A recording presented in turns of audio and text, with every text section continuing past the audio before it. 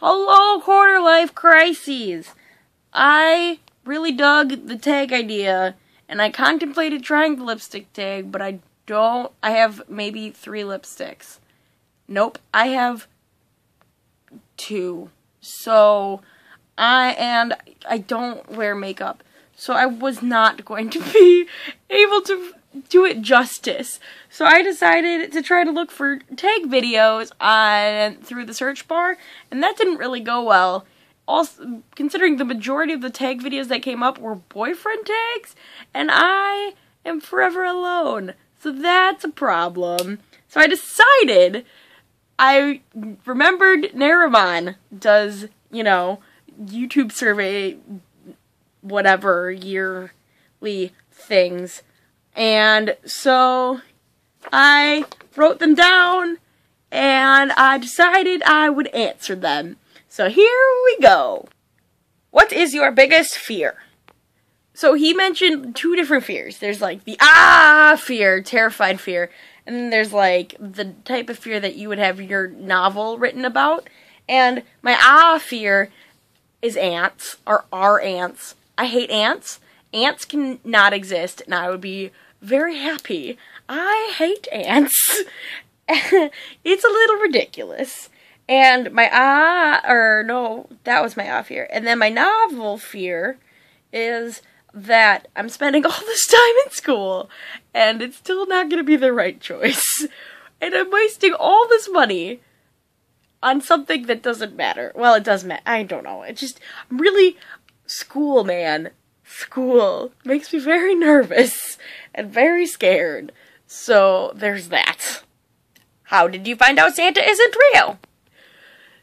So I don't rem- I think I figured it out about 6th grade year and it was I I think the handwriting started to look a little too similar to my parents' handwriting, which is funny because they did it with their left hands. So they must have just got really great at writing with their left hand. I'm looking up the stairs right now, which is why I'm looking weirdly, is because my mom's upstairs. And, um, but, so I kind of had like figured it out that that was probably the case.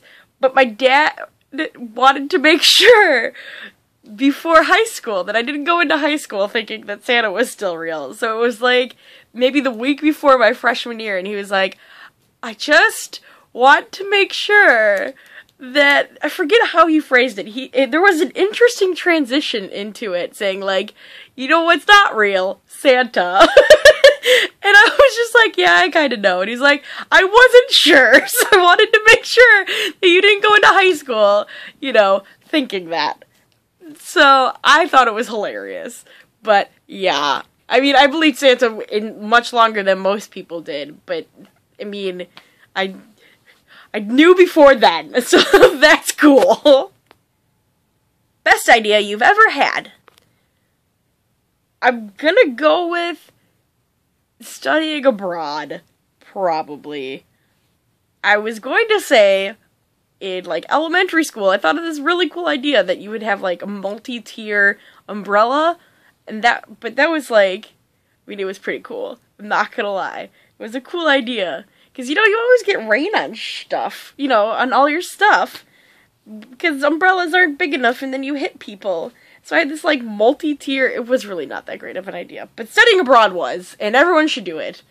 But, you, yes. Just, I miss abroad life so much. Most embarrassing thing your parents have done. Uh, you know, for real though, I can't think of anything. I genuinely cannot.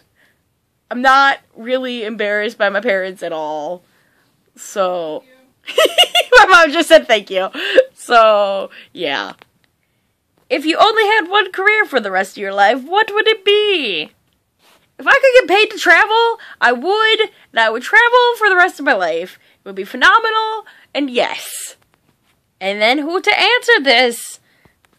I don't really care who answers this. But, you know, if others want to, go for it. Woo! Okay, that's that's the YouTube sur- Nerimon survey. And yeah, I'll see Lisa Monday, I would hope. Okay, bye!